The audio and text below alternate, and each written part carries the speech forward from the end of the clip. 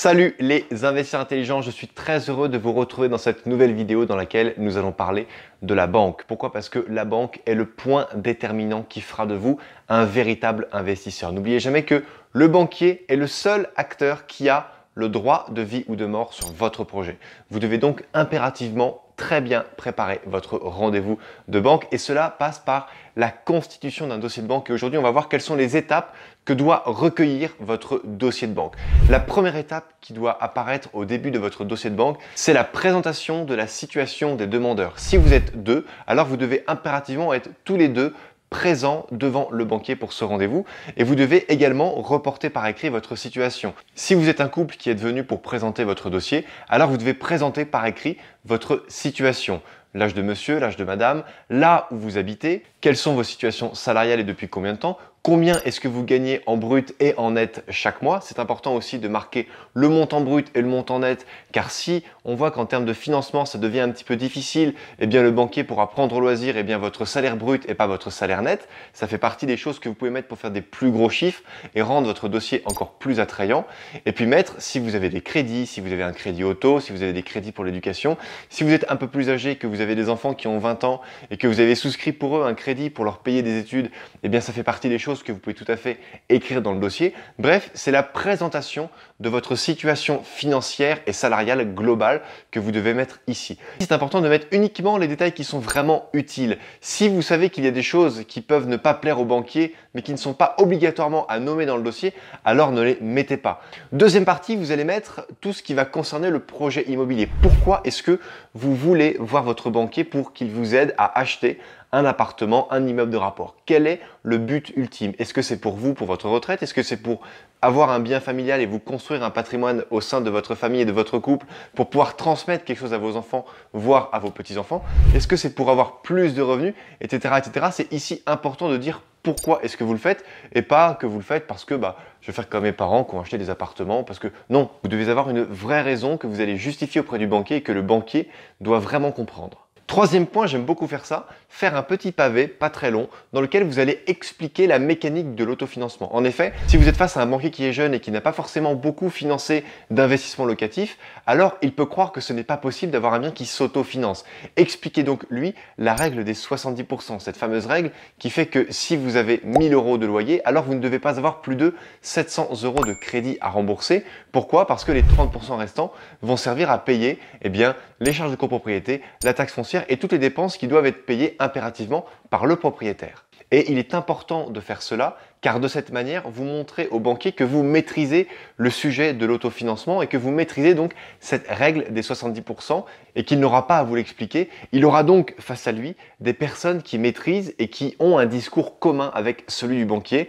Et c'est grâce à ce genre de choses que vous allez commencer à créer un alignement psychologique avec votre banquier qui va faire en sorte qu'il aura plus tendance à accepter votre dossier plutôt qu'un autre qui présente un bien exactement similaire mais qui ne présente pas aussi bien.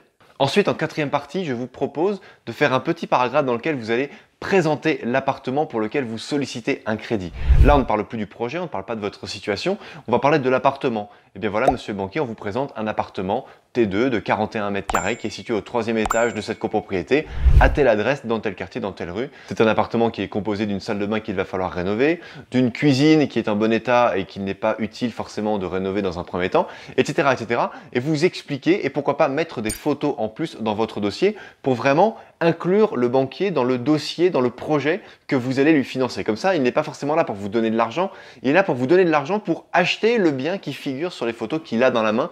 Quelque part, vous en faites un partenaire un peu plus fort parce que vous l'incluez dans l'intimité plus profonde de votre projet. Cinquième partie, la partie peut-être la plus importante, la simulation approfondie de votre projet. C'est là où vous allez télécharger le tableau que je vous mets ici et que vous allez coller directement dans le dossier. Et alors dans ce tableau que vous téléchargez, vous avez des vidéos explicatives pour bien le renseigner, mais dites-vous une chose, c'est que tous les chiffres qui sont inscrits sur ce tableau, vous devez pouvoir les prouver et les présenter factuellement. Pour la taxe foncière par exemple, s'il y a 550 euros de taxe foncière par an sur les années précédentes par exemple, eh bien vous devez simplement avoir l'extrait de la taxe foncière de l'ancien propriétaire pour montrer, regardez, la taxe foncière, monsieur le banquier, je ne la sors pas de mon chapeau. J'ai bien ici l'extrait de la taxe foncière de ce que le propriétaire actuel a payé l'an dernier. Pareil pour les charges de copropriété, etc., etc. Vous devez avoir un papier pour valider les montants et toujours obtenir la confiance et solidifier votre statut par rapport au banquier. Sixième point, faites un petit bilan de l'opération en disant voilà, on achète cet appartement-là 145 000 euros, on vous demande un financement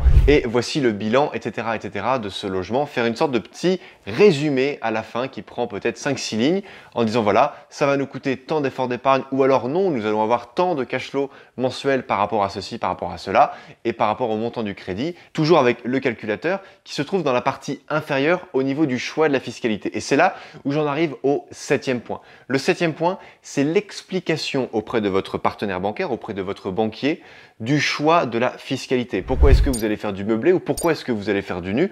Pourquoi est-ce que vous souhaitez faire financer une SCI pour investir en SCI, etc., etc. Ce sont des questions auxquelles vous devez impérativement savoir répondre, car si le banquier voit que vous ne maîtrisez pas parfaitement les différents statuts fiscaux entre LMNP réel, LMNP micro ou revenu foncier réel ou revenu foncier micro, SCI, IS, IR, s'il voit que vous êtes perdu par rapport à ça, eh bien, il ne va pas vous financer car il sait très bien que la fiscalité peut détruire votre projet. Vous devez donc être parfaitement le petit doigt sur la couture, j'aime beaucoup cette expression, désolé, mais vous devez impérativement bien maîtriser la fiscalité, car sinon votre banquier va vous attendre au tournant. Huitième point, faites bien sûr un encart sur le bénéfice annuel. Dites à votre banquier combien cet appartement-là va vous rapporter mensuellement, voire annuellement, et ça, ce sont des chiffres qui vous sont donnés une fois de plus par le calculateur que je vous propose de télécharger, parce que vous allez bien lui montrer comment le calcul est fait, et que ces calculs-là, que ce résultat-là ne sort pas de votre chapeau, que vous avez pris des estimations qui sont justes et qu'au niveau des chiffres qui ne sont pas des estimations,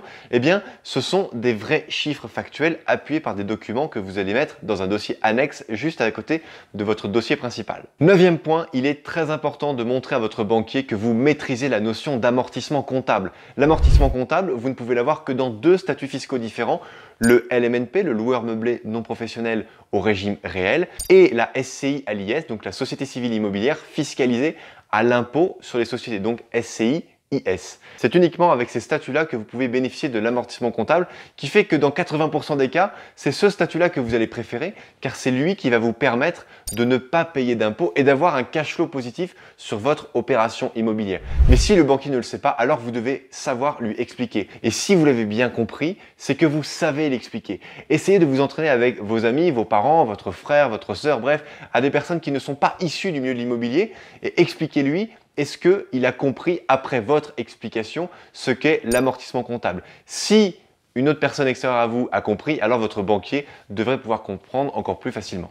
Et enfin, on arrive au dixième et dernier point, il s'agit de la simulation de prêt. La simulation de prêt va montrer à votre banquier sur combien d'années vous souhaitez investir pour savoir quelle mensualité de crédit fonctionne avec les loyers que vous allez percevoir et le fonctionnement global de votre projet. Donc sans lui dire, vous allez pouvoir lui montrer à votre banquier que votre projet fonctionne sur 20 ans avec un taux de 3,5% par exemple, mais que attention, sur 15 ans c'est un petit peu court.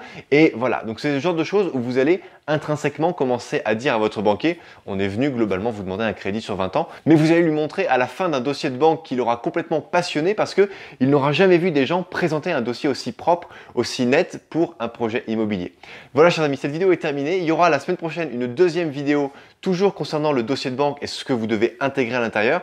En attendant, n'oubliez pas, Likez cette vidéo, partagez-la, abonnez-vous à la chaîne si ce n'est pas déjà fait. Et bien sûr, écrivez-moi en commentaire toutes les questions que vous pourriez avoir par rapport à votre dossier de banque. Je vous répondrai avec passion. En attendant, n'oubliez pas, crise ou pas crise, on fait la route ensemble. Ciao